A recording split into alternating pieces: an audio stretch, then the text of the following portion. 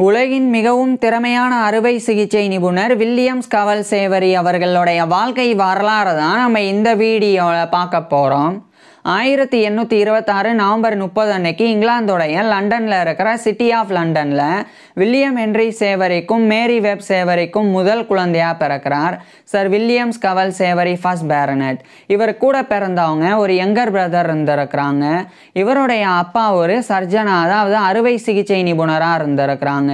மேலும் இவருடைய அப்பா சிட்டி ஆஃப் லண்டன்லேயே இருக்கக்கூடிய செயின்ட் மேரியாட் ஹில் அப்படின்ற ஒரு சர்ச் ஆஃப் இங்கிலாந்து பாரிஸ் சர்ச்சோடைய சர்ச் வார்டனாகவும் இருந்திருக்கிறாங்க.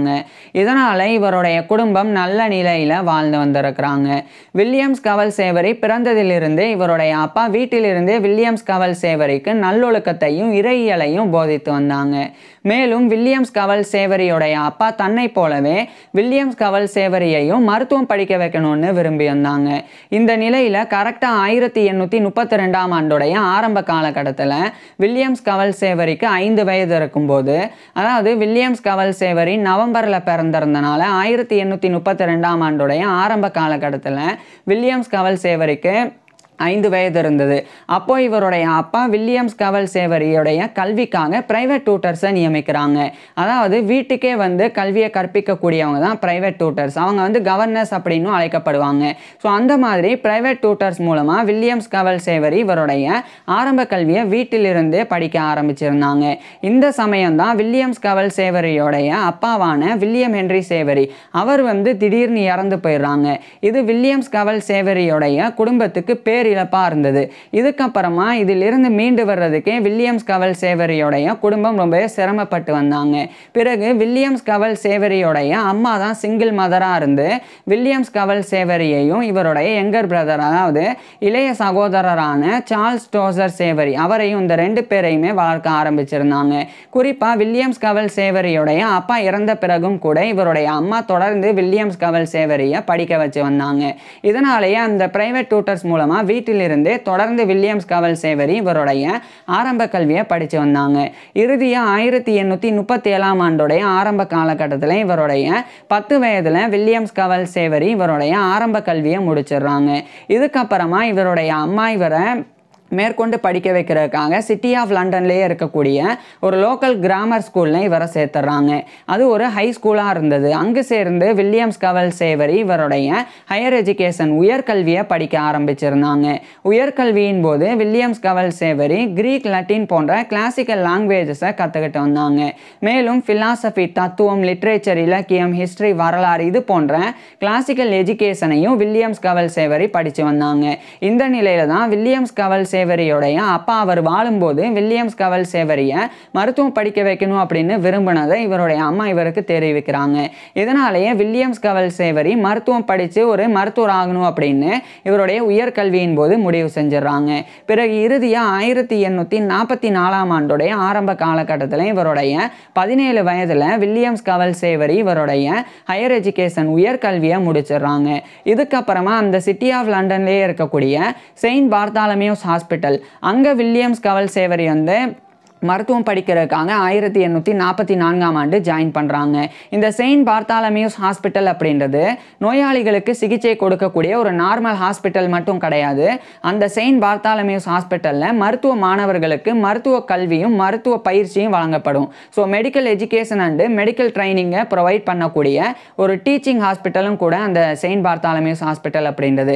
குறிப்பாக அந்த செயின்ட் பார்த்தாலமியூஸ் ஹாஸ்பிட்டல் தரப்பிலிருந்து மெடிக்கல் ஸ்கூல் கூட நடத்தி வந்தாங்க. ஸோ அங்கே தான் வில்லியம்ஸ் கவல் சேவரியை வந்து மருத்துவம் படிக்கிறதுக்காக ஆயிரத்தி எண்ணூற்றி நாற்பத்தி நான்காம் ஆண்டு ஜாயின் பண்ணியிருந்தாங்க. மேலும் அங்கு அவர் மருத்துவ கல்வியையும் மருத்துவ பயிற்சியையும் பெற்றுக்கிட்டு இன்னொரு பக்கம் யூனிவர்சிட்டி ஆஃப் லண்டன் அங்கே வந்து எம்பிசிஹெச்பிக்காக என்ரோல் பண்ணுறாங்க எம்பிசிஹெச்பி அப்படின்றது மெடிசனே பேக்கலோரியஸ் பேக்கலோரியஸ் சிறுஜே அப்படின்னு லட்டினில் இது இங்கிலீஷில் மெடி மெடி இந்த bachelor of medicine and bachelor of surgery MBBS so இதை தான் எடுத்து யூனிவர்சிட்டி ஆஃப் லண்டனில் இவர் வந்து என்ரோல் பண்ணி செயின்ட் பார்த்தாலமியூஸ் ஹாஸ்பிட்டலில் இவர் வந்து மருத்துவ கல்வியையும் மருத்துவ பயிற்சியையும் பெற தொடங்குறாங்க.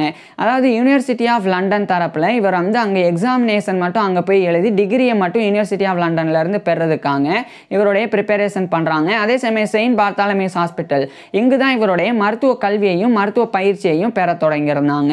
இந்த நிலையில் Royal College of Surgeons of England இது வந்து இங்கிலாந்தில் இருக்கிற லண்டனில் இருக்கக்கூடிய சர்ஜன்ஸ் அறுவை சிகிச்சை நிபுணர்கள் மருத்துவர்களுக்கு உண்டான ராயல் காலேஜ். ஸோ அந்த ராயல் காலேஜோடைய மெம்பர்ஷிப்பை பெறணும் அப்படின்னு வில்லியம்ஸ் கவல் சேவரி அதுக்குண்டான ப்ரிப்பரேஷனில் ஈடுபட தொடங்குறாங்க. இந்த ராயல் காலேஜ் ஆஃப் சர்ஜன்ஸோடைய மெம்பர்ஷிப்பை பெறதுக்கு சில குவாலிஃபிகேஷன் இருக்குது அதை வந்து இவர் வந்து அந்த எக்ஸாமினேஷன்லாம் அட்டன் பண்ணி அதில் குவாலிஃபை ஆகணும். ஸோ அதை வந்து இவர் வந்து ஒரு பக்கம் பண்ண ஆரம்பிக்கிறாங்க. இறுதியாக ஆயிரத்தி எண்ணூற்றி நாற்பத்தி ஏழாம் ஆண்டு டிசம்பர் மூணு அன்னைக்கு இவருடைய இருபத்தோரு வயதில் வில்லியம்ஸ் கவல் சேவரி வந்து அந்த ராயல் காலேஜ் ஆஃப் சர்ஜன்ஸோடைய மெம்பர்ஷிப்பை பெற்றுறாங்க. So member of the Royal College of Surgeons MRCS அப்படின்ற இந்த மெம்பர்ஷிப்பை ஆயிரத்தி எண்ணூற்றி நாற்பத்தேழு டிசம்பர் மூணு அன்னைக்கு இவருடைய இருபத்தோரு வயதில் வில்லியம்ஸ் கவல் சேவரி வந்து பெறாங்க. இந்த காலகட்டத்தில் இவர் வந்து சர்ஜரியில் அதிகமான ஆர்வம் செலுத்தி வந்தாங்க. ஏன்னா வில்லியம்ஸ் கவல் சேவரியோடைய அப்பாவான வில்லியம் ஹென்ரி சேவரி அவர் வாழும்போது ஒரு சர்ஜன் அறுவை சிகிச்சை நிபுணராக தான் இருந்தாங்க. ஸோ அதே மாதிரி ஒரு அறுவை சிகிச்சை நிபுணர் ஆகணும் அப்படின்றது தான் இவருடைய வில்லியம்ஸ் கவல் சேவரியோடைய ஒரு எண்ணமாக இருந்தது. இதனாலே இவர் வந்து சர்ஜரியை ரொம்பவே நல்லாவே படிக்க தொடங்கியிருந்தாங்க. அதாவது இவருடைய மெடிக்கல் கரிக்குலம் இந்த மருத்துவ பாடத்திட்டத்தில் வில்லியம்ஸ் கவல் சேவரி வந்து அனாட்டமி உடற்கூறியல் பிசியாலஜி உடலியல் பெத்தாலஜி நோயியல் மெட்டீரியா மெடிக்கா மருந்துகளினுடைய பண்புகள் குறித்து படிக்கிறது. அதே மாதிரி மிட்வைஃபரி மிட்வைஃபரி அப்படின்றது பிரசவ கவனிப்பு அதுக்கப்புறமா சர்ஜரி அறுவை சிகிச்சை கிளினிக்கல் மெடிசன் மருத்துவம் அப்படின்னு இவ்வளோ சப்ஜெக்ட்ஸையும் படித்து வந்தாங்க. அதில் பர்டிகுலராக சர்ஜரி அறுவை சிகிச்சை தான் ரொம்ப சிறப்பாக படித்து வந்தாங்க. காரணம் இவர் ஒரு சர்ஜன் ஆகணும் அப்படின்னு விரும்பினால ஸோ இந்த காலகட்டத்தில் இந்த காலகட்டத்தில் மட்டும் கிடையாது தற்போது வரைக்குமே மெடிசனில் நிறைய ஸ்பெஷாலிட்டிஸ் இருக்குது குறிப்பாக பீடியாட்ரிக்ஸ் குழந்தை மருத்துவம் அப்சட்ரிக்ஸ் மகப்பேறு மருத்துவம் பிரசவம் பார்க்குறது அதேமாதிரி கைனகாலஜி பெண் நோயியல் கார்டியாலஜி இருதயவியல் சர்ஜரி அறுவை சிகிச்சை டெர்மட்டாலஜி தோல் மருத்துவம் அதுக்கப்புறமா இந்த டென்டிஸ்ட்ரி பல் மருத்துவம் ஆப்தல்மாலஜி கண் மருத்துவம் அப்படின்னு இன்னும் எக்கச்சக்கமான ஸ்பெஷாலிட்டிஸ் இருக்குது அதில் இவர் வந்து படிக்கும்போதே சர்ஜரியை வந்து தேர்ந்தெடுத்திருந்தாங்க. மேலும் இந்த ஆயிரத்தி எண்ணூற்றி நாற்பத்தெட்டாம் ஆண்டு இவருடைய இருபத்தி ரெண்டு வயதுக்கு முன்னாடியே வில்லியம்ஸ் கவல் சேவரி வந்து யூனிவர்சிட்டி ஆஃப் லண்டனில் இருந்து அந்த எம்பிசிஎஸ்பி மெடிசனே பேக்கலோரேஸ் பேக்கலோரேஸ் சிறுஜே அப்படின்னு லட்டினில் அழைக்கப்படுற எம்பிபிஎஸ் இந்த பேச்சுலர் ஆஃப் மெடிசன் வந்து பேச்சுலர் ஆஃப் சர்ஜரி இது ஆயிரத்தி எண்ணூற்றி நாற்பத்தெட்டாம் ஆண்டு வில்லியம்ஸ் கவல் சேவரி இவருடைய இருபத்தி ரெண்டு வயதுக்கு முன்னாடியே பெற்றுறாங்க. இதை பெறும்போது இவருக்கு நிறைய கோல்டு மெடல்ஸ் வழங்கப்பட்டது. அந்தளவுக்கு ஒரு சிறந்த மாணவனாக இருந்தாங்க. குறிப்பாக இவருக்கு வந்து அனாட்டமி உடற்கூறியல் ஃபிசியாலஜி உடலியல் அதுக்கப்புறமா சர்ஜரி அறுவை சிகிச்சை. இந்த மூன்று பாடங்களில் இவர் வந்து கோல்டு மெடல்ஸ் வந்து பெற்றிருந்தாங்க. சாரி நான்கு பாடங்கள் மிட்வைஃபரி அந்த பிரசவ கவனிப்பு. ஸோ அந்த நான்கு பாடங்களில் இவர் வந்து கோல்டு மெடல்ஸ் வந்து பெற்றிருந்தாங்க. மேலும் கூடுதலாக வில்லியம்ஸ் கவல் சேவரி வந்து கிளினிக்கல் மெடிசன் அதில் ஹானர்ஸ் கௌரவத்தையும் பெற்றிருந்தாங்க. ஸோ இந்த அளவுக்கு ஒரு சிறந்த மாணவனாக இருந்தாங்க. பிறகு இந்த ஆயிரத்தி எண்ணூற்றி நாற்பத்தெட்டாம் ஆண்டு வில்லியம்ஸ் கவல் சேவரி வந்து அவருடைய எம்பிசிஹெச்பி அந்த எம்பிபிஎஸ் வந்து முடித்த உடனே இவர் மருத்துவராக தகுதி பெற முடியாது நோயாளிகளுக்கு சிகிச்சையெல்லாம் கொடுக்க முடியாது. அதுக்கு முன்னாடி வில்லியம்ஸ் கவல் சேவரி வந்து ஒரு நல்ல மருத்துவமனையில் ஜாயின் பண்ணி அங்கே இருக்கக்கூடிய தேர்ந்த மருத்துவர்கள் நோயாளிகளுக்கு சிகிச்சை கொடுக்கறத பார்த்து பயிற்சி பெறணும். அதுக்கப்புறமா அந்த தேர்ந்த மருத்துவர்களினுடைய மேற்பார்வையின் கீழே வில்லியம்ஸ் கவல் சேவரி நோயாளிகளுக்கு சிகிச்சை கொடுக்கணும். இதை ரெண்டையுமே சரியாக செஞ்சால் தான் வில்லியம்ஸ் கவல் சேவரி வந்து ஒரு அறுவை சிகிச்சை நிபுணராக தகுதி பெற முடியும். குறிப்பாக இவர் சர்ஜன் ஆகணும் அப்படின்னு நினச்சனால எட்வர்ட் ஸ்டான்லி அப்படின்னு சொல்லி ஒரு அறுவை சிகிச்சை நிபுணர். அவருக்கு கீழே ஒரு ஹவுஸ் சர்ஜனாக இந்த ஒரு மெடிக்கல் ட்ரைனிங்காக ஜாயின் பண்ணுறாங்க குறிப்பாக இந்த செயின்ட் பார்த்தாலமிஸ் ஹாஸ்பிட்டல்லையே. ஸோ அந்த ஆயிரத்தி எண்ணூற்றி நாற்பத்தெட்டாம் ஆண்டிலிருந்து ஹவுஸ் சர்ஜனாக ஜாயின் பண்ணுறாங்க அந்த எட்வர்ட் ஸ்டான்லி அப்படின்ற மருத்துவர் தான். அவர் வந்து நோயாளிகளுக்கு அறுவை சிகிச்சை பண்ணுவாங்க. அப்போ அவருக்கு உதவியாளராக இருந்து அவர் அறுவை சிகிச்சை பண்ணுறத வில்லியம்ஸ் கவல் சேவரி வந்து பார்த்து பயிற்சி பெற தொடங்கியிருந்தாங்க. அடுத்து அந்த எட்வர்ட் ஸ்டான்லியோடைய மேற்பார்வையின் கீழே வில்லியம்ஸ் கவல் சேவரி வந்து நோயாளிகளுக்கு அறுவை சிகிச்சை பண்ண தொடங்கியிருந்தாங்க. இதை எல்லாத்தையுமே வில்லியம்ஸ் கவல் சேவரி வந்து ரொம்ப சிறப்பாகவே முடிச்சாங்க. இதன் காரணமாக வில்லியம்ஸ் கவல் சேவரிக்கு வந்து அந்த மருத்துவ அந்த அந்த ஒரு கௌரவம் அந்த ஒரு குவாலிஃபிகேஷன் தகுதி வந்து கிடைக்குது. ஸோ இவர் ஒரு சர்ஜன் அறுவை சிகிச்சை நிபுணராகவும் ஆகிடுறாங்க. இந்த நிலையில தான் ஆயிரத்தி எண்ணூற்றி நாற்பத்தி ஒன்பதாம் ஆண்டு வில்லியம்ஸ் கவல் சேவரி வந்து அந்த Saint Bartholomew's Hospital Medical School. அங்கே ஒரு demonstrator of anatomy and operative சர்ஜரியாக நியமிக்கப்படுறாங்க. அதாவது ஆப்ரேட்டிவ் சர்ஜரி அப்படின்றது அறுவை சிகிச்சை அதே சமயம் அனாட்டமி அப்படின்றது உடற்கூறியல். உடற்கூறியல் அப்படின்னா உடல் உறுப்புகளினுடைய ஸ்ட்ரக்சர் கட்டமைப்பு குறித்து படிக்கிறது. உதாரணத்துக்கு இப்போ இதயம் ஒரு உடல் உறுப்பு அந்த இதயத்தை எடுத்துக்கணும்னா அந்த இதயத்தில் எத்தனை தமணிகள் இருக்குது எத்தனை அறைகள் இருக்குது அதனுடைய வடிவம் என்ன அது எப்படி அமைஞ்சிருக்கு. ஸோ இது குறித்துலாம் படிக்கிறது. தான் இப்படி அந்த கட்டமைப்பு அந்த உடல் உறுப்பினுடைய கட்டமைப்பு குறித்து படிக்கிறது தான் உடற்கூறியல் அப்படின்றது. ஸோ இந்த உடற்கூறியலை டெமான்ஸ்ட்ரேட்டராக ஆயிரத்தி எண்ணூற்றி நாற்பத்தி ஒன்பதாம் ஆண்டு அந்த உடற்கூறியல்லையும் ஆப்ரேட்டிவ் சர்ஜரியிலையும் ஒரு டெமான்ஸ்ட்ரேட்டராக செயின்ட் பார்த்தாலமியூஸ் ஹாஸ்பிட்டல் மெடிக்கல் ஸ்கூலில் வில்லியம்ஸ் கவல் சேவரி வந்து நியமிக்கப்பட்டிருந்தாங்க. டெமான்ஸ்ட்ரேட்டர் அப்படின்ற பொறுப்பு ஒன்றும் கிடையாது. அந்த மருத்துவ மாணவர்கள் வந்து ஏன்னா மருத்துவ பாடத்திட்டத்தில் operative surgery anatomy physiology pathology materia medica அப்படின்னு இவ்வளோ சப்ஜெக்ட்ஸ்லாம் வரும். ஸோ அந்தமாதிரி வரும்போது வரும்போது இந்த அனாட்டமி அந்த மருத்துவ மாணவர்கள் வந்து உடற்கூறியல் படிக்க வரும்போது இவர் தான் வந்து டெமான்ஸ்ட்ரேட் பண்ணுவாங்க. டெமான்ஸ்ட்ரேஷன் எப்படின்னா இப்போ ஒரு விலங்கு இருக்குது அப்படின்னா அந்த விலங்கினுடைய உடலை வந்து பிரித்து சர்ஜரி மூலமாக எடுத்து அந்த உடல் உறுப்புகளை வந்து வெளியெடுத்து அந்த உடல் உறுப்புகளினுடைய ஸ்ட்ரக்சரையும் ஃபங்க்ஷன் செயல்பாடுகள் இதை ரெண்டையுமே நேரடியாக விளக்கக்கூடிய ஒரு பொறுப்பு தான் டெமான்ஸ்ட்ரேட்டர் அப்படின்றது. ஸோ அந்த பொறுப்பில் demonstrator of anatomy and operative surgery ஆயிரத்தி எண்ணூற்றி நாற்பத்தொம்பதாம் ஆண்டிலிருந்து வில்லியம்ஸ் கவல் சேவரி இவருடைய பணியாற்ற தொடங்கியிருந்தாங்க. இன்னொரு பக்கம் ஆயிரத்தி எண்ணூற்றி ஐம்பதாம் ஆண்டு செயின்ட் பார்த்தாலமியூஸ் ஹாஸ்பிட்டல் மெடிக்கல் ஸ்கூலில் ஒரு புதிய ஒரு ரூல்ஸ் ஆனது கொண்டு வரப்படுது. அந்த ரூல்ஸ் படி இந்த மாதிரி டெமான்ஸ்ட்ரேட்டராக இருக்கக்கூடியவங்க சூப்பர்வைஸும் பண்ணணும். அதாவது ஸ்டூடெண்ட்ஸ் மெடிக்கல் ஸ்டூடெண்ட்ஸ் வந்து படித்து அவங்க வந்து பட்டம் பெறுற வரைக்கும் அவங்கள சூப்பர்வைஸ் பண்ண வேண்டிய பொறுப்பும் வந்து இருக்கணும் அப்படின்னு ஆயிரத்தி எண்ணூற்றி ஐம்பதாம் ஆண்டு செப்டம்பர் இருபத்தொன்று அன்னைக்கு ஒரு ரூலை வந்து கொண்டு வராங்க. இதன்படி வில்லியம்ஸ் கவல் சேவரியும் ஒரு சூப்பர்வைசராகவும் அந்த செயின்ட் பார்த்தாலமியூஸ் ஹாஸ்பிட்டல் மெடிக்கல் ஸ்கூலில் இவருடைய பங்களிப்பை தொடர ஆரம்பிக்கிறாங்க. இந்நிலையில் தான் வில்லியம் வில்லியம்ஸ் கவல் சேவரி வந்து இந்த இதயத்தினுடைய வால்வுகள் அது குறித்து ஆராய்ச்சி பண்ண தொடங்குறாங்க. இந்த ஹார்ட் வால்வ்ஸ் அப்படின்றது நான்கு விதமாக இருக்குது ஒன்று வந்து ட்ரைகஸ்பிட் அப்படின்றது இன்னொன்று வந்து பல்மினரி வால்வ் அப்படின்றது. மூன்றாவதாக வந்து மைட்ரல் அப்படின்னு இருக்குது. அதே மாதிரி இன்னொரு ஒரு ஒரு இன்னொரு ஒரு எயோர்டிக் அப்படின்னு சொல்லி இன்னொரு ஒரு வால்வும் இருக்குது ஸோ இது மாதிரி நான்கு வால்வுகள் இருக்குது இது எல்லாமே வந்து இதயத்தில் சரியாக ரத்த ஓட்டம் வந்து பம்ப் பண்ணி அது வந்து கரெக்டாக போகிறதுக்கு இந்த நான்கு வால்வுகள் தான் வந்து முக்கிய காரணமாக இருக்குது இந்த வால்வ்ஸ் குறித்து இவர் வந்து ஆராய்ச்சி பண்ணாங்க. குறிப்பாக அதனுடைய ஸ்ட்ரக்சர் அதனுடைய கட்டமைப்பு எப்படி இருக்குது அந்த இதயத்திலிருந்து அந்த வாழ்வுக்கு. அது மட்டும் இல்லாமல் அந்த கட்டமைப்பு மட்டும் இல்லாமல் அதனுடைய கனெக்ஷன்ஸ் எங்கெங்கெல்லாம் அது வந்து கரெக்டாக கனெக்ட் ஆகிருக்கு அது குறித்தும் அதேமாதிரி அதனுடைய அரேஞ்ச்மெண்ட்ஸ் இந்த மூன்று விஷயங்கள் குறித்து இவர் வந்து ஆராய்ச்சியும் பண்ணாங்க. ஆராய்ச்சியின் விளைவாக ஆயிரத்தி எண்ணூற்றி ஐம்பத்தி ஒன்றாம் ஆண்டு வில்லியம்ஸ் கவல் சேவரி வந்து இவருடைய ரிசர்ச் பேப்பரை ராயல் சொசைட்டி ஆஃப் லண்டனில் பப்ளிஷ் பண்ணுறாங்க அது வந்து the structure and connections of the valves of the human heart அப்படின்ற அந்த டைட்டில் இந்த ஒரு ரிசர்ச் பேப்பரை ஆயிரத்தி எண்ணூற்றி ஐம்பத்தி ஒன்றாம் ஆண்டு வில்லியம்ஸ் கவல் சேவரி வந்து பப்ளிஷ் பண்ணுறாங்க இதுக்கப்புறமா ராயல் காலேஜ் ஆஃப் சர்ஜன்ஸ் அந்த அறுவை சிகிச்சை நிபுணர்களுக்கு உண்டான ராயல் காலேஜ் அதனுடைய ஒரு ஃபெல்லோ ஆகணும் அப்படின்னு இவர் வந்து முயற்சித்தாங்க.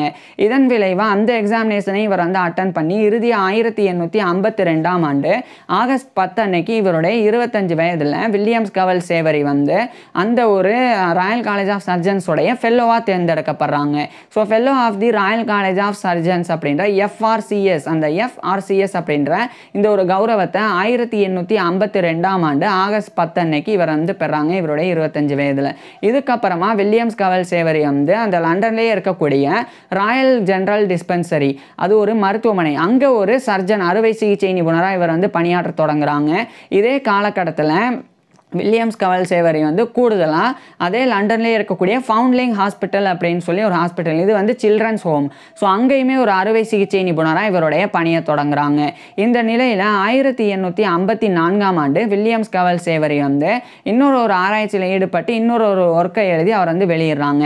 அது வந்து பாலூட்டிகளினுடைய ஸ்ட்ரை ஸ்ட்ரைட்டட் அந்த ஸ்ட்ரைட்டட் மஸ்குலர் ஃபைபர்ஸ் குறித்து அதாவது தசை நார்கள் குறித்து இவர் வந்து ஆராய்ச்சி பண்ணாங்க. குறிப்பாக அந்த பாலூட்டிகளினுடைய தசை நார்களின் வளர்ச்சி குறித்து இவர் ஆராய்ச்சி பண்ணாங்க. அது ஆயிரத்தி எண்ணூற்றி ஐம்பத்தி நான்காம் ஆண்டு ராயல் சொசைட்டியோடைய philosophical டிரான்சாக்ஷன்ஸ் அப்படின்ற ஜேர்னல் அதில் வந்து இவர் பப்ளிஷ் பண்ணுறாங்க அதை வந்து on the development on the development of striated muscular fibres in mammalia அப்படின்ற அந்த டைட்டிலே இவர் வந்து பப்ளிஷ் பண்ணுறாங்க பிறகு இதே ஆயிரத்தி எண்ணூற்றி ஐம்பத்தி நான்காம் ஆண்டு நவம்பர் முப்பது அன்னைக்கு அதாவது இவருடைய இருபத்தி எட்டாவது பர்த்டே அன்னைக்கு வில்லியம்ஸ் கவல் சேவரி வந்து லூயிசா ஃப்ரான்சஸ் போரே டேயல் அப்படின்ற ஒரு பெண்ணை வந்து இவர் வந்து திருமணம் பண்ணிக்கிறாங்க. திருமணத்துக்கு பிறகு அதாவது கரெக்டாக ஆயிரத்தி எண்ணூற்றி ஐம்பத்தி நாலு நவம்பர் முப்பது அன்னைக்கு இவருடைய இருபத்தெட்டு வயதில் இவருடைய பர்த்டேயின் போது வில்லியம்ஸ் கவல் சேவரி வந்து அந்த லூயிசா ஃப்ரான்சஸ் போரே டேயல் அப்படின்ற அந்த பெண்ணை திருமணம் பண்ணிக்கிறாங்க. திருமணத்துக்கு பிறகு வில்லியம்ஸ் கவல் சேவரிக்கும் அந்த லூயிசா ஃப்ரான்சஸ் போரடைல் சேவரி ரெண்டு பேருக்குமே ஒரு ஆண் குழந்தை போரடைல் சேவரி அப்படின்னு ஒரு ஆண் குழந்தை பிறந்தது. இது வந்து வில்லியம்ஸ் கவல் சேவரியுடைய பர்சனல் லைஃப் தனிப்பட்ட வாழ்க்கையாக இருந்தது. இதுக்கிடையில் ஆயிரத்தி எண்ணூற்றி ஐம்பத்தி அஞ்சாம் ஆண்டு இந்த காலகட்டத்தில் வில்லியம்ஸ் கவல் சேவரி வந்து மறுபடியும் இவர் ஏற்கனவே எழுதின அந்த ஒரு ஒர்க்கோடைய இன்னொரு ஒரு அடிஷன் வந்து பப்ளிஷ் பண்ணுறாங்க அதாவது on the development of striated muscular fibres in mammalia அப்படின்ற அந்த ஒர்க்கை மறுபடியும் ராயல் சொசைட்டிலே அவர் வந்து பப்ளிஷ் பண்ணுறாங்க அங்கிருந்து இரண்டு ஆண்டுகளுக்கு பிறகு ஆயிரத்தி எண்ணூற்றி ஐம்பத்தி ஏழாம் ஆண்டு வில்லியம்ஸ் கவல் சேவரி வந்து மேலும் சில ஒர்க்கை வந்து எழுதினாங்க. அது வந்து on the relative temperature of arterial and venous blood அப்படின்ற அந்த டைட்டிலில் இந்த ஒர்க்கை ஆயிரத்தி எண்ணூற்றி ஐம்பத்தி ஏழாம் ஆண்டு வில்லியம்ஸ் கவல் சேவரி பப்ளிஷ் பண்ணுறாங்க இது வந்து ஆர்டீரியல் அப்படின்ற தமனி அதுலேயும் அதே மாதிரி நரம்புகள் அதில் வெயின் அந்த வெயின் அந்த நரம்புகள் அதில் இருக்கக்கூடிய ரத்தத்தினுடைய டெம்பரேச்சரினுடைய ஒப்பீடு குறித்து இவர் வந்து எழுதினாங்க. இதை வந்து ஆயிரத்தி எண்ணூற்றி ஐம்பத்தி ஏழாம் ஆண்டு பப்ளிஷ் பண்ணாங்க. இதன் காரணமாகவே ஆயிரத்தி எண்ணூற்றி ஐம்பத்தி எட்டாம் ஆண்டு ஜூன் மாதம் வில்லியம்ஸ் கவல் சேவரி வந்து ராயல் சொசைட்டியோடைய ஒரு ஃபெல்லோவாகவே தேர்ந்தெடுக்கப்படுறாங்க. இது வந்து இங்கிலாந்தில் இருக்க லண்டனில் இருக்கக்கூடிய ராயல் சொசைட்டி ஆஃப் லண்டன். அதனுடைய ஒரு ஃபெல்லோவாக இவர் வந்து தேர்ந்தெடுக்கப்படுறாங்க. ஸோ ஆயிரத்தி எண்ணூற்றி ஐம்பத்தெட்டாம் ஆண்டு தான் வில்லியம்ஸ் கவல் சேவரி வந்து fellow of the Royal Society FRS அப்படின்ற இந்த ஒரு கௌரவத்தை பெறாங்க. இதுக்கப்புறமா ஆயிரத்தி எண்ணூற்றி ஐம்பத்தி ஒன்பதாம் ஆண்டு ஒரு முக்கியமான ஒரு பொறுப்பை இவர் வந்து பெறாங்க. அதாவது சார் ஜேம்ஸ் பேஜட் அப்படின்னு ஒரு அறுவை சிகிச்சை நிபுணர். அவர் வந்து lecturer on lecturer on general anatomy and physiology அப்படின்ற பொறுப்பில் இருந்தாங்க. ஒரு விரிவுரையாளராக அவர் வந்து ரிட்டையர் ஆகிறாங்க. அவர் ரிட்டையர் ஆன பிறகு அந்த Saint Bartholomew's Hospital Medical School அதனுடைய lecturer on general anatomy and physiology அந்த பொறுப்பில் ஆயிரத்தி எண்ணூற்றி ஐம்பத்தொம்பதாம் ஆண்டு இவர் நியமிக்கப்படுறாங்க. So demonstrator of ana demonstrator of anatomy and அந்த ஆப்ரேட்டிவ் சர்ஜரி அந்த பொறுப்பிலிருந்து இந்த ஒரு பொறுப்புக்கு விரிவுரையாளர் லெக்சரராக இவர் நியமிக்கப்படுறாங்க. ஸோ இது வந்து ஒரு பதவி உயர்வு. இது ஆயிரத்தி எண்ணூற்றி ஐம்பத்தொம்பதாம் ஆண்டு வில்லியம்ஸ் கவல் சேவரி வந்து பெறாங்க. ஸோ இந்த பதவி உயர்வு பெற்ற பிறகு அந்த செயின்ட் பார்த்தாலமியூஸ் ஹாஸ்பிட்டல் மெடிக்கல் ஸ்கூலில் ஒரு விரிவுரையாளராக உடற்கூறியலையும் உடலியலையும் மருத்துவ மாணவர்களுக்கு கற்பிக்க தொடங்குறாங்க.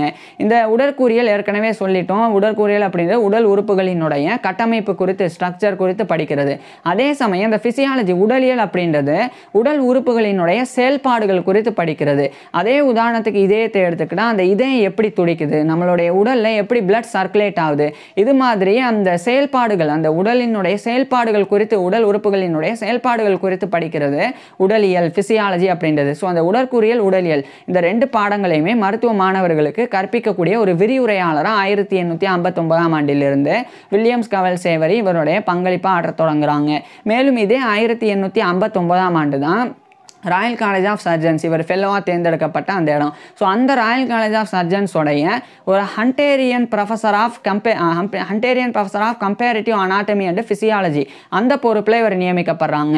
அதாவது கம் ஃபிசியாலஜி தெரியும் அனாட்டமி தெரியும். இது என்ன கம்பேரிட்டிவ் அனாட்டமி அப்படின்னா ஒப்பீட்டு உடற்கூறியல்.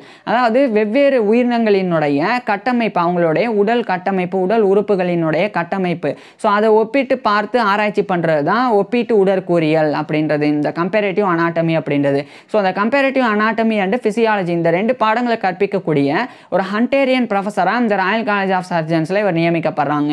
அதாவது ஜான் ஹண்டர் அப்படின்னு ஒரு தலை சிறந்த அறுவை சிகிச்சை நிபுணர். அவர் இறந்த பிறகு அவரை கௌரவப்படுத்துறதுக்காக அந்த ஜான் ஹண்டருடைய பேரில் Hunterian professorship of comparative anatomy and physiology அப்படின்னு ஒரு ப்ரொஃபஸர்ஷிப் இருக்குது. அதில் தான் ஆயிரத்தி எண்ணூற்றி ஐம்பத்தொம்பதாம் ஆண்டு அந்த பொறுப்பில் ராயல் காலேஜ் ஆஃப் சர்ஜன்ஸில் வில்லியம்ஸ் கவல் சேவரி தேர்ந்தெடுக்கப்பட்டாங்க. ஸோ இவர் வந்து ஜென்ரல் ஃபிசியாலஜி பொது உடலியல் அது குறித்தும் அதே மாதிரி ஃபிசியாலஜி ஆஃப் ஃபுட் அது இந்த ரெண்டு விஷயங்கள் குறித்து இவர் வந்து அந்த ப்ரொஃபஸர்ஷிப் போது இவருடைய கற்பிப்பு அந்த டீச்சிங்கை வந்து கொடுத்தாங்க. இதுக்கப்புறம் ஆயிரத்தி எண்ணூற்றி அறுபத்தொன்னாம் ஆண்டு இந்த ராயல் காலேஜ் ஆஃப் சர்ஜன்ஸோடைய அந்த ஹண்டேரியன் ப்ரொஃபஸராக கம்பேரிட்டிவ் அனாட்டமி அண்ட் ஃபிசியாலஜி அந்த பொறுப்பிலிருந்து இரண்டு ஆண்டுகளுக்கு பிறகு விலகுறாங்க. மேலும் இந்த ஆயிரத்தி எண்ணூற்றி அறுபத்தி ஒன்றாம் ஆண்டு இந்த யூசிவிஎஸ் லாய்டு அப்படின்னு சொல்லி ஒரு அறுவை சிகிச்சை நிபுணர். அவர் வந்து இவர் பணிபுரியக்கூடிய அந்த செயின்ட் பார்த்தாலமியூஸ் ஹாஸ்பிட்டல். அங்கே வந்து ஒரு சர்ஜன் அறுவை சிகிச்சை நிபுணராக இருந்தாங்க. இந்த ஆயிரத்தி எண்ணூற்றி அறுபத்தொன்னாம் ஆண்டு தான் அந்த யூசிவிஎஸ் லாய்டு வந்து ரிட்டையர் ஆகுறாங்க அவர் ரிட்டையர் ஆன உடனடியாக இந்த ஆயிரத்தி எண்ணூற்றி அறுபத்தி ஒன்றாம் ஆண்டு அந்த அந்த ஒரு பொறுப்பில் தாமஸ் ஒர்மால்ட் அப்படின்னு ஒரு அறுவை சிகிச்சை நிபுணர் வந்து சர்ஜனா செயின்ட் பார்த்தாலமியஸ் ஹாஸ்பிட்டலில் நியமிக்கப்படுறாங்க. இந்த தாமஸ் ஒர்மால்டோடைய வாழ்க்கை வரலாறு நம்ம ஏற்கனவே பார்த்துருக்குறோம். ஸோ அவர் இதுக்கு முன்னாடி இந்த தாமஸ் ஒர்மால்ட் வந்து அசிஸ்டன்ட் சர்ஜனாக இருந்தாங்க. ஸோ இப்போ சர்ஜனா அந்த பொறுப்பில் நியமிக்கப்படுறாங்க. இதனால் அந்த அசிஸ்டன்ட் சர்ஜன் உதவி அறுவை சிகிச்சை நிபுணர் அப்படின்ற அந்த பொறுப்புக்கு ஆயிரத்தி எண்ணூற்றி அறுபத்தொன்னாம் ஆண்டு வில்லியம்ஸ் கவல் சேவரி வந்து அந்த செயின்ட் பாத்தாலமியூஸ் ஹாஸ்பிட்டலில் நியமிக்கப்படுறாங்க. ஸோ செயின்ட் பாத்தாலமியூஸ் ஹாஸ்பிட்டலில் ஒரு லெக்சரரான் general general anatomy and physiology அப்படின்ற அந்த விரிவுரையாளர் பொறுப்புலையும் அதே செயின்ட் பார்த்தாலமியூஸ் ஹாஸ்பிட்டலில் அசிஸ்டன்ட் சர்ஜன் உதவி அறுவை சிகிச்சை நிபுணர் அப்படின்ற இந்த பொறுப்பிலும் இவர் இவருடைய பணியை தொடங்குறாங்க. இந்த காலகட்டத்தில் தான் Royal Institution of Great Britain இது வந்து லண்டன்லேயே இருக்குது அந்த ராயல் இன்ஸ்டிடியூஷனில் வில்லியம்ஸ் கவல் சேவரி வந்து லைஃப் அண்ட் டெத் அதாவது வாழ்க்கை மற்றும் இறப்பு. இந்த இந்த ரெண்டு விஷயங்கள் குறித்து இவர் வந்து ஃபோர் லெக்சர்ஸ் நான்கு விரிவுரைகளை ஆயிரத்தி எண்ணூற்றி அறுபத்தி மூன்றாம் ஆண்டு கொடுக்குறாங்க. இந்த ஆயிரத்தி எண்ணூற்றி அறுபத்தி மூணாம் ஆண்டு Royal இன்ஸ்டிடியூஷனில் on the life and death அப்படின்ற டைட்டிலில் நான்கு விரிவுரைகளை வில்லியம்ஸ் கவல் சேவரி கொடுக்குறாங்க. இதுக்கப்புறமா வில்லியம்ஸ் கவல் சேவரி வந்து தொடர்ச்சியாக இவர் வந்து ஒரு அசிஸ்டன்ட் சர்ஜனாகவும் லெக்சரராகவும் இவருடைய பணியை வந்து தொடர்ந்து செஞ்சு வந்தாங்க. இந்நிலையில தான் துரதிருஷ்டவசமாக வில்லியம்ஸ் கவல் சேவரியோடைய அம்மாவான மேரி வெப் சேவரி அவங்க வந்து இறந்து போயிடுறாங்க. இது வில்லியம்ஸ் கவல் சேவரியோடைய பர்சனல் லைஃப்பில் இவருக்கு ஏற்பட்ட ஒரு இழப்பாக இருந்தது. இது ஒரு பக்கம் இருக்க பொது வாழ்க்கையில் ஆயிரத்தி எண்ணூற்றி அறுபத்தி ஏழாம் ஆண்டு வில்லியம்ஸ் கவல் சேவரி வந்து அந்த செயின்ட் பார்த்தாலமியூஸ் ஹாஸ்பிட்டலோடைய சர்ஜன் அப்படின்ற பொறுப்புக்கு ஃபுல் சர்ஜனாக ஒரு அறுவை சிகிச்சை நிபுணராக பதவி உயர்வை பெற்றுறாங்க ஏன்னா தாமஸ் ஒர்மால்டு வந்து ரிட்டையர் ஆகுறாங்க. ஸோ அவருடைய பொறுப்பில் அசிஸ்டன்ட் சர்ஜன் அப்படின்ற பொறுப்பிலிருந்து ஃபுல் சர்ஜனாக இவர் வந்து ப்ரமோஷன் ஆயிரத்தி எண்ணூற்றி அறுபத்தேழாம் ஆண்டு பெறாங்க. ஸோ இந்த ஆயிரத்தி எண்ணூற்றி அறுபத்தேழாம் ஆண்டிலிருந்து வில்லியம்ஸ் கவல் சேவரி ஒரு அறுவை சிகிச்சை நிபுணராக இந்த செயின்ட் பார்த்தாலமியஸ் ஹாஸ்பிட்டலில் பணியாற்றத் தொடங்குறாங்க. இந்த காலகட்டத்தில் தான் துரதிருஷ்டவசமாக ஆயிரத்தி எண்ணூற்றி அறுபத்தேழு ஆயிரத்தி எண்ணூற்றி அறுபத்தெட்டு இந்த ஒரு காலகட்டத்தில் வில்லியம்ஸ் கவல் சேவரியோடைய மனைவியான Louisa Frances Borradaile Louisa Frances K Savory. அவங்க வந்து கிட்டத்தட்ட அவங்களுடைய நாற்பத்தாறு நாற்பத்தேழு வயதிலே இறந்து போயிடுறாங்க ஆயிரத்தி எண்ணூற்றி அறுபத்தெட்டாம் ஆண்டு. ஏன்னா வில்லியம்ஸ் கவல் சேவரியோடைய மனைவி ஆயிரத்தி எண்ணூற்றி இருபத்தி ஒன்றாம் ஆண்டு பிறந்திருந்தாங்க. So Louisa Frances Borradaile Savory அப்படின்ற இவருடைய மனைவி ஆயிரத்தி எண்ணூற்றி அறுபத்தெட்டாம் ஆண்டு அவங்களுடைய நாற்பத்தாறு நாற்பத்தேழு வயதிலேயே இறந்து போயிடுறாங்க. ஸோ இது வந்து வில்லியம்ஸ் கவல் சேவரியோடைய பர்சனல் லைஃப்பில் இவருக்கு ஏற்பட்ட இன்னொரு ஒரு மிகப்பெரிய ஒரு துயரமாக இருந்தது. இதில் ஒரே ஒரு விஷயம் வில்லியம்ஸ் கவல் சேவரியை விட இவருடைய மனைவிக்கு வந்து அஞ்சு வயசு வந்து ஜாஸ்தி. ஸோ அதனால தான் ஆயிரத்தி எண்ணூற்றி இருபத்தொன்று ஆயிரத்தி எண்ணூற்றி அறுபத்தெட்டு இறக்குறாங்க அவங்களுடைய நாற்பத்தேழு வயதுக்குள்ளேயே. ஸோ இப்படி வில்லியம்ஸ் கவல் சேவரியோடைய பர்சனல் லைஃப்பில் இவ்வளோ பிரச்சனைகள் இருந்து வந்தாலும் பொது வாழ்க்கையில் தொடர்ச்சியாக நிறைய முன்னேற்றங்கள் இருந்து வந்தது. அதில் குறிப்பாக ஆயிரத்தி எண்ணூற்றி அறுபத்தொம்போதாம் ஆண்டு இந்த Saint Bartholomew's Hospital Medical School. அதனுடைய lecturer on general anatomy and physiology அந்த பொறுப்பில் இருந்து லெக்சரர் ஆன் சர்ஜரியாக நியமிக்கப்படுறாங்க. அதாவது இவருடைய ஃபீல்டு அறுவை சிகிச்சையை கற்பிக்கக்கூடிய ஒரு விரிவுரையாளராக ஆயிரத்தி எண்ணூற்றி அறுபத்தொன்பதாம் ஆண்டு வில்லியம்ஸ் கவல் சேவரி நியமிக்கப்படுறாங்க. இந்த காலகட்டத்தில் இவருக்கு உதவியாக ஹோம்ஸ் கோட் அப்படின்னு சொல்லி ஒரு அறுவை சிகிச்சை நிபுணர். அவருமே இவர் கூட ஜாயின் லெக்சரராக இருந்து இந்த சர்ஜரியை விரிவுரை கொடுத்தாங்க. அவர் மட்டும் இல்லாமல் இன்னொரு ஒரு நபரும் ஜார்ஜ் வில்லியம் கேலண்டர் அப்படின்னு சொல்லி.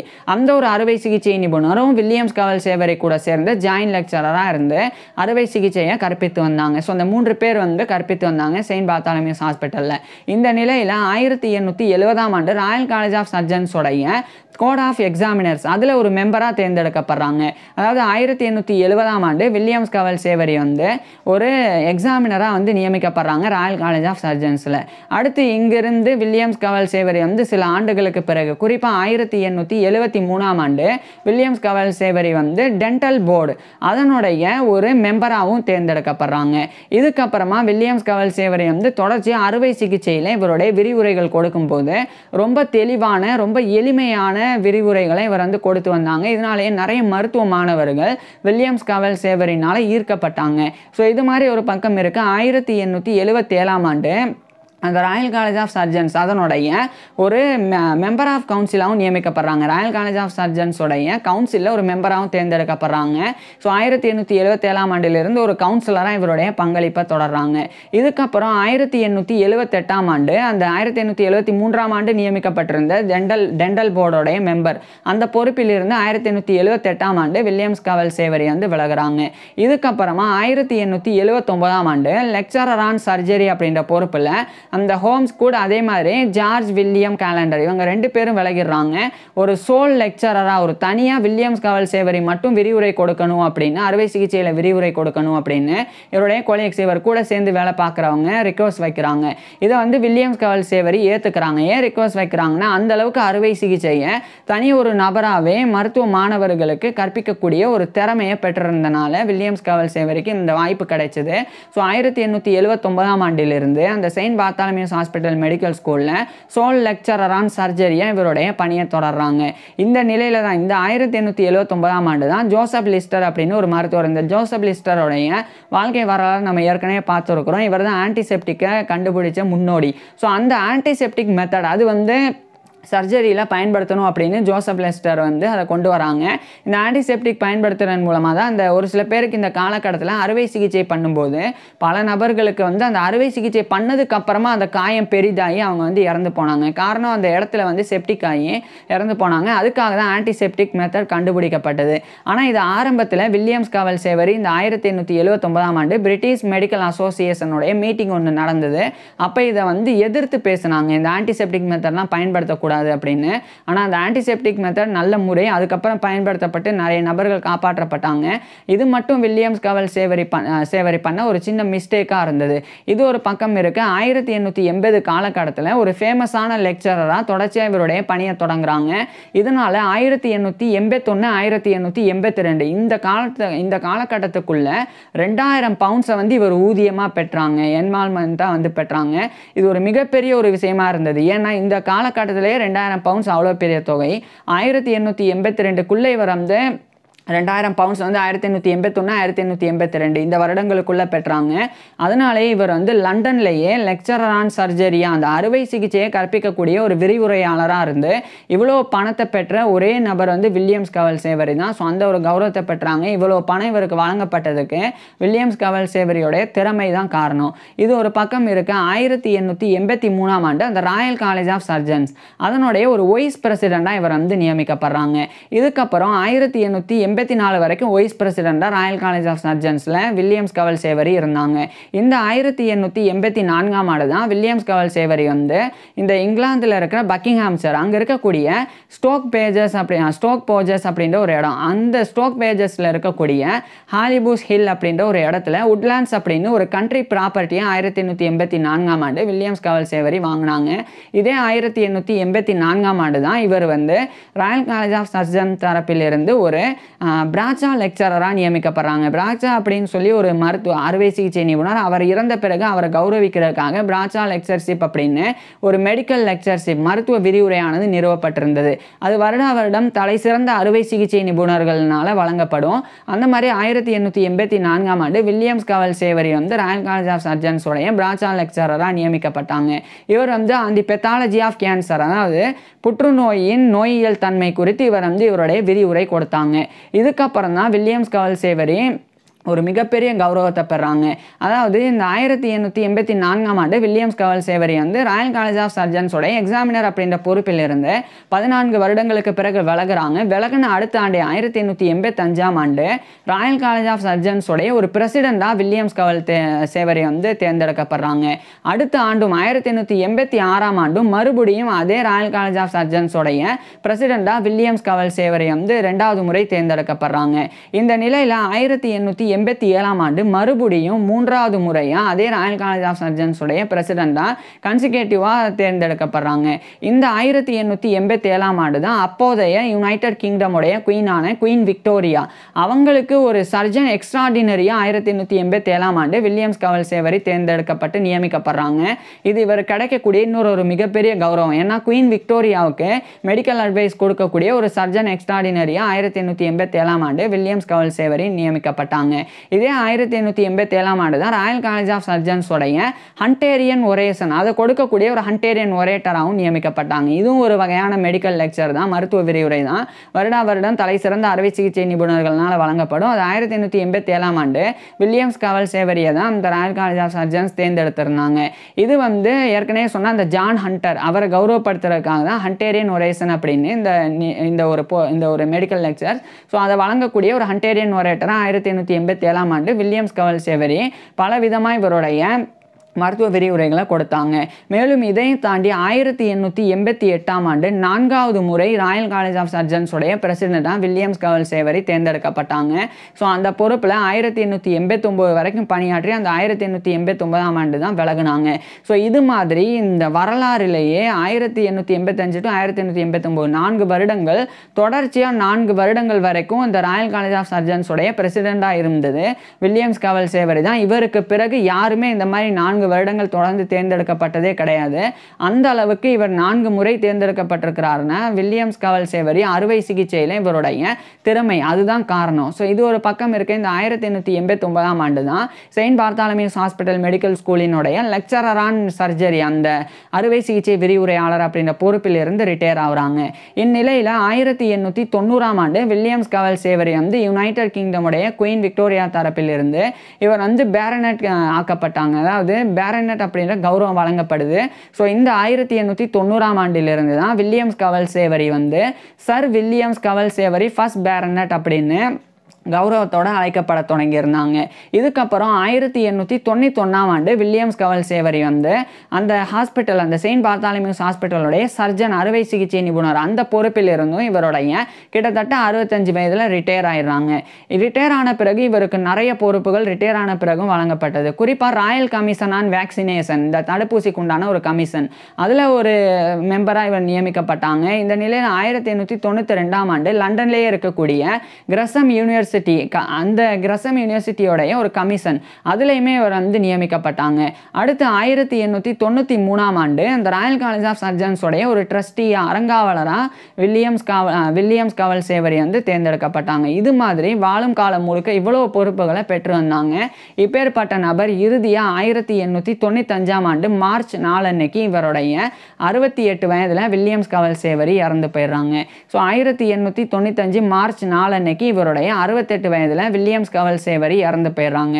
இவர் இறந்து போகும்போது வில்லியம்ஸ் கவல் சேவரியை ஒரு நபர் வந்து ஹோ பிங்கர் அப்படின்னு ஒரு நபர். அவர் வந்து மார்பிள் பஸ்ட்டை வந்து உருவாக்கியிருந்தாங்க. பளிங்கி மார்பளவு பளிங்கி சிலையை வந்து இவரை கௌரவிக்கிறதுக்காக உருவாக்கி அதை ராயல் காலேஜ் ஆஃப் சர்ஜன்ஸுக்கு வழங்கினாங்க. மேலும் வில்லியம் வால்டர் வில்லியம் ஓலிஸ் அப்படின்னு சொல்லி ஒரு ஒரு பெயிண்டர் அவர் வந்து வில்லியம்ஸ் க வில்லியம்ஸ் கவல் சேவரியை ஓவியமாக சித்தரிச்சிருந்தாங்க. அந்த போர்ட்ரேட்டும் ராயல் காலேஜ் ஆஃப் சர்ஜன்ஸில் வைக்கப்பட்டிருக்கு. ஸோ இன்றைக்கி வரைக்குமே அது ரெண்டுமே இருக்குது சிலையாக இருக்கட்டும் அந்த மார்பளவு சிலையும் இவருடைய போர்ட்ரேட்டும் இன்றைக்கி வரைக்குமே இருக்குது இன்றைக்கி வரைக்குமே ராயல் காலேஜ் ஆஃப் சர்ஜன்ஸில் அது வைக்கப்பட்டு போற்றப்படுறதுக்கு முக்கிய காரணம் வில்லியம்ஸ் கவல் சேவரி அறுவை சிகிச்சையில் இவர் வாழும்போது பண்ண சாதனைகள் தான் ஸோ இப்பேற்பட்ட வில்லியம்ஸ் கவல் சேவரியோடைய மகனான ச- அந்த போரடைல் சேவரி. அவர் வந்து சர் பட்டத்தை பெற்றாங்க. சர் போரடைல் சேவரி அப்படின்னு. அது மட்டும் இல்லாமல் செயின்ட் பார்த்தாலமியூ த கிரேட். அவர் அது அதனுடைய ஒரு ரெக்டராகவும் நியமிக்கப்பட்டாங்க. ஸோ இவருடைய மகனும் இந்த மாதிரி நியமிக்கப்பட்டாங்க. ஸோ இது மாதிரி இதெல்லாமே வந்து பர்சனல் லைஃப் இன்னொரு பக்கம் வில்லியம்ஸ் கவல் சேவரி மருத்துவத்தில் ஆற்றின பங்களிப்புக்காக இன்னைக்கு வரைக்குமே ஒரு மிகவும் திறமையான ஒரு அறுவை சிகிச்சை நிபுணராக அறியப்பட்டு வராங்க. இப்பேற்பட்ட வில்லியம்ஸ் கவல் சேவரி பற்றி நீங்கள் என்ன நினைக்கிறீங்க அப்படின்றத கீழே கமெண்ட்ஸில் சொல்லுங்கள் உங்களுக்கு எந்த மாதிரியான டாபிக்ஸில் இந்த மாதிரியான வீடியோஸ் வேணும் அப்படின்றதையும் கீழே கமெண்ட்ஸில் சொல்லுங்கள் தேங்க்யூ